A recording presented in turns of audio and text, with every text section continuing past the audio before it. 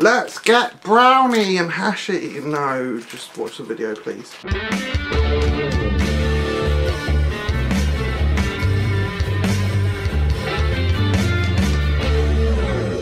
Hello everyone and welcome to Food Review UK. My name is MJ and today we are reviewing the Subway hash browns. I got them to take away so they came in this bag. Uh, the bag has become quite greasy. You get six and I think they're 60p. I'm not 100% certain because I had a voucher to buy like a meal for uh, five pounds and then it came to like 560 so I, am pretty sure they're 60p. Um, smell interesting, I think brilliant. One's just, okay, the bag has ripped and one's just fallen out the bottom of the bag. That's probably normal or fine, probably.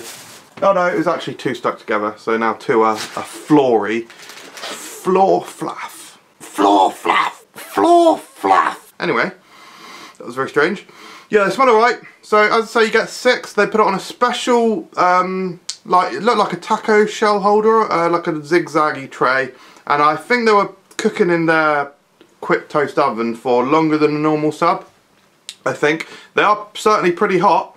Definitely think they're hotter than a normal sub. Uh, let's give it a go. Hmm. I should say in terms of where they actually were in the store, they were with the salad, so they were, with the chilled items and they just picked them up off of there. Hmm. That's quite interesting. Mm, nearly dropped it there's a look inside one. I'll try and get it as sort of in focus as possible. Bloody hell, it is hot though. It's literally uh, like piping hot. And I have driven home, so... Hmm. Quite greasy, as you saw, from the bag splitting. Oh, that's the open end. Twat. Um, oh, brilliant. I am an absolute knob, quite frankly. You knew that. Absolute um, yeah, they're not super crunchy or anything, or crunchy at all really, they're kind of soggy. I don't know if maybe you had them uh, like eaten, if you had them straight away, I wonder if they'd be crispy on the outside. They're certainly quite thick, dense. They taste kind of salty on the outside, but the the flavouring in the middle isn't super seasoned. Like I say, greasy, and that runs through right, right to the middle, I think. I actually like the texture though. It's quite um quite satisfying, chewy, dense, potatoey texture.